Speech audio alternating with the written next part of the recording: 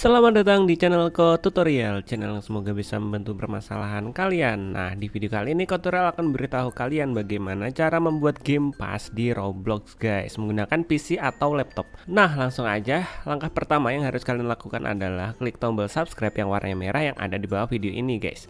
Nah, setelah itu kalian buka di Robloxnya, guys. Nah, di sini Tutorial udah buka Roblox lewat Google Chrome ya. Nah, setelah itu kalian pilih di bagian nama kalian sini. Di bagian atas sini ada nama kalian, kalian pilih ini, guys. Nah, setelah kalian pilih, kalian pilih ke bagian creation sini, guys. Di bagian creation sini. Nah, di bagian creation sini ada game ya, guys ya. Game dari Robloxnya yang kalian bisa edit sendiri. Nah, di sini kalian tinggal pilih gamenya. Nah, di sini kontrol bakalan pilih yang ini gamenya. Kalian klik pada gambar yang ada di game ini guys. Nah setelah itu nanti tampilannya akan seperti ini. Nah jika sudah seperti ini kalian pilih yang bagian store. Nah setelah kalian pilih bagian store Nanti di bagian bawah sini ada PES atau game PES-nya. Nah di sini Kotural udah buat dua ya guys ya yang pertama game pass-nya namanya 001 dengan harga 60 Robux dan yang kedua itu gambarnya tutorial atau logo tutorial dan namanya tutorial 01 harganya 100 Robux. Nah, fungsi game pass sendiri itu cara untuk mendapatkan Robux, guys. Nah, misalnya kalian buat game pass. Nanti kalau ada orang yang beli game pass-nya ini, kalian akan mendapatkan Robux, guys. Ini juga salah satu digunakan oleh penjual-penjual Robux untuk menjual Robux mereka. Jadi kalian diminta untuk buat game pass, kemudian pihak lain akan membeli game pass kalian dan kalian akan mendapatkan Robux. Nah, setelah seperti ini guys, kita lanjut. Kalian klik yang add pass yang ini guys. Nah, setelah kalian klik add pass, nanti muncul tampilan seperti ini. Kalian tinggal klik yang bagian choice file ini guys, yang find your image. Ini kalian upload gambar ya guys ya, gambar atau foto ya guys ya. Nah di sini Kotrel bakalan upload foto yang ini guys. Nah Kotrel udah siapkan foto ini, kemudian kalian klik open guys.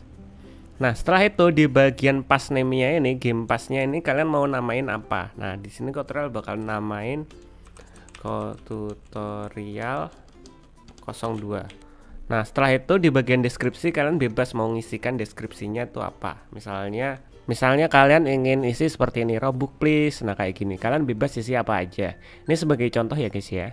Nah setelah kalian udah upload isi nama dan deskripsi, kalian pilih yang preview guys. Setelah kalian klik preview, nanti akan muncul seperti ini guys, create pass. Nah ini kalian bisa verifikasi upload. Nah ini kalian tinggal klik verifikasi upload. Nah, setelah itu ada tulisannya pas successful create. Itu tandanya sudah selesai atau sudah sukses terbuat. Nah, kalian tinggal scroll ke bagian bawah sini yang tadinya kita buat pasnya namanya Kotrol 02 ini udah jadi. Dan ini gambarnya kadang terupload, kadang enggak, guys. Jadi jangan bingung soal gambar. Nah, setelah itu kalian pilih di bagian kanan sini ada gambar gear yang kanan ini. Kalian klik, kemudian kalian pilih yang configure ini, guys. Kalian pilih yang configure Nah, nanti tampilannya akan seperti ini, guys. Kalian klik yang bagian sel, yang bawahnya general ini, guys. Kalian pilih yang bagian sel.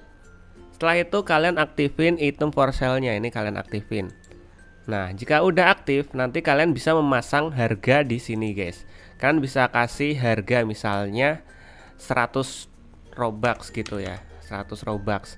Nanti kalian akan mendapatkan 70 Robux. Bang, kok cuma 70? Iya jadi Roblox itu memberikan potongan 30%. Jadi kalian hanya mendapatkan 70%. Maksudnya gimana? Nah, di sini kalian menjual dengan harga 100. Nanti kalau ada orang beli, kalian akan mendapatkan 70%. Jadi dipotong 30% gitu. Jadi kalian mendapatkan 70 Robux. Semisal kalian menjual dengan harga 1000 Robux, kalian akan mendapatkan 700 Robux, guys. Jadi dipotong 30% kayak gitu ya, guys ya. Jadi di sini kontrol bakalan buat dengan harga 500 Robux kayak gini 500 Robux dan dipotong 30% menjadi 350 Robux. Jadi kalau kalian menjual dengan harga 500, kalian akan mendapatkan 350 Robux kayak gitu, guys. Nah, jika udah, kalian tinggal klik save.